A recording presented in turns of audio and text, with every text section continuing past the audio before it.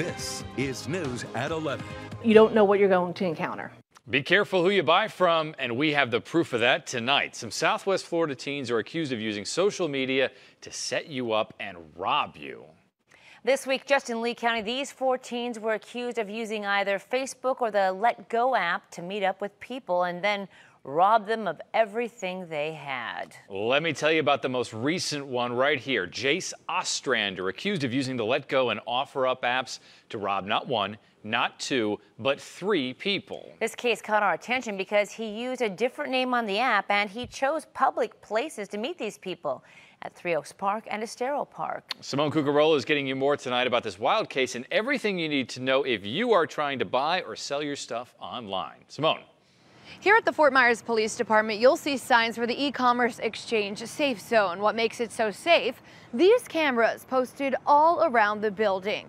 This is the place experts recommend you use when buying and selling with strangers online.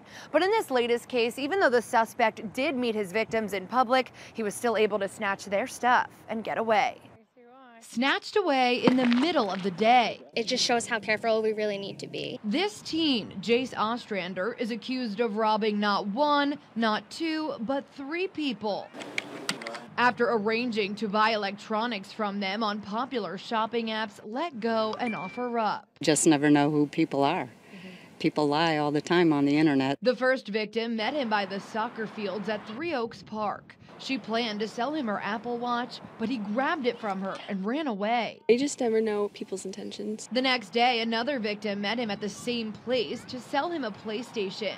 This time, Ostrander got away by handing over fake cash. It really scares me because if a teenager can do that, um, I'm sure there's a lot of other people out there that can easily do it. And the last victim fell for the same scenario.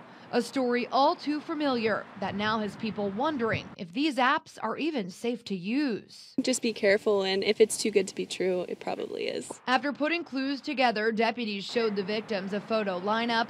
Ostrander was picked out and later arrested at Estero High. I hope he learns his lesson.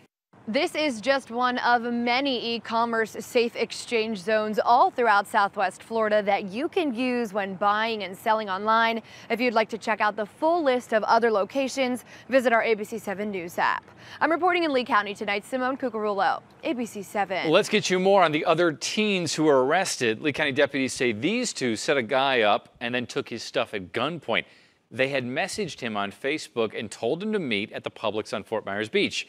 But when he got there, five guys jumped out of a car and beat him up. They stole his shirt, they stole his chain, they even stole his protein powder.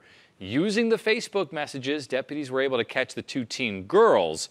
The other men involved have not been arrested. And these four Sarasota teens are accused of using the LetGo app to rob and beat a man in the parking lot.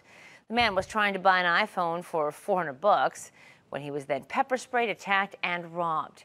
He was able to notice there were four people in the getaway car, and deputies were able to track down these four, and they are behind the attack.